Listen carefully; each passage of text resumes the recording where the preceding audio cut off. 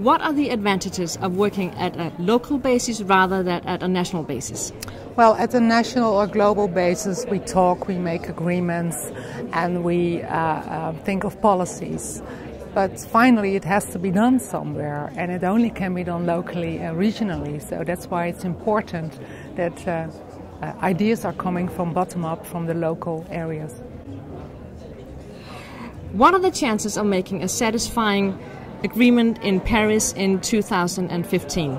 I'm an optimistic person, and I think we will have an agreement in Paris in December in 2015. And I think the agreement will be with everybody, all the countries.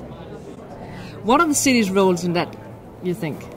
Well, cities should be a part of the solution. I think we can have a, a binding agreement, but finally the pledges has to be done by countries, but also by businesses, by, for example, NGOs, and by non-state actors such as um, municipalities. And what do you think C40 plays as, as an organization a role in this negotiation with the states? I think um, in the cities there have a lot of problems when it comes to the climate. I think the cities will have solutions for the problems we have on the climate.